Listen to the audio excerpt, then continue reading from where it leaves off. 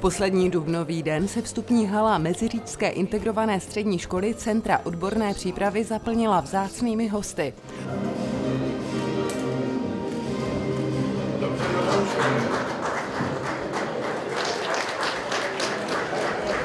U příležitosti 20.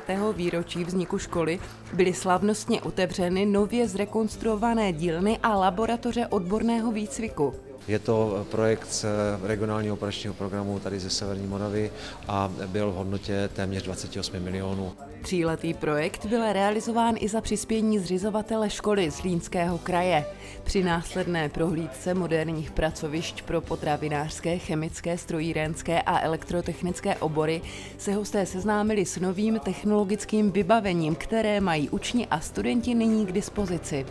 Když je připravíte, že s těmi stroji a přístroji, které teď na té škole se učí, se budou v té praxi setkávat, tak přece jenom je to takový plynulejší přechod do té praxe a je to jiný i náhled těch mistrů už v té praxi na ty naše absolventy. Takže dneska jsme se potěšili eh, a samozřejmě jak jsem říkal, i poblahopřáli škole, poděkovali pedagogům, poděkovali všem, kteří jakýmkoliv způsobem přispěli. Jsou to krásné nové prostory a myslím si, že to vybavení, které tady je, tak pro ty učně dostačující, aby tady získali základní praxi a hlavně si myslím, že důležité je velmi návyky.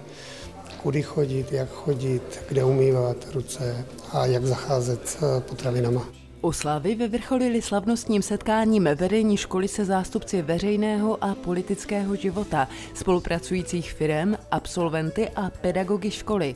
Z rukou hejtmana Stanislava Mišáka převzala ocenění za šíření dobrého jména školy šestice nejúspěšnějších absolventů.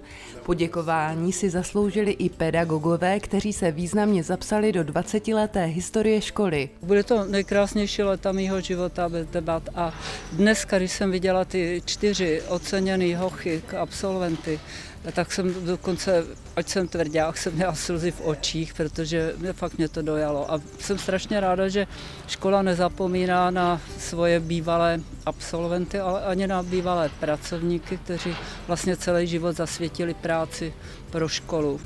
Jedním z oceněných absolventů je Pavel Ředina, dnes výrobní ředitel významné olomoucké firmy. Jaká je vaše taková nejsilnější vzpomínka na školu a komu byste chtěla třeba poděkovat při této příležitosti? Tak jako asi nejsilnější vzpomínka je na vlastně celý profesorský sbor, který nás jako celkem dobře připravil eh, do budoucího, do budoucího života v tom našem oboru. No a jmenovitě bych asi chtěl vyzvednout paní eh, inženýrku Milanu Michalíkovou.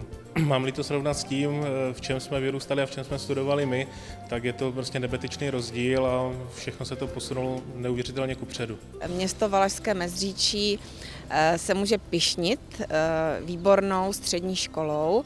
Je to možnost pro základní školy uplatnit zde své absolventy. Škola má eh, množství zajímavých oborů. Do oslav se zapojili i samotní žáci.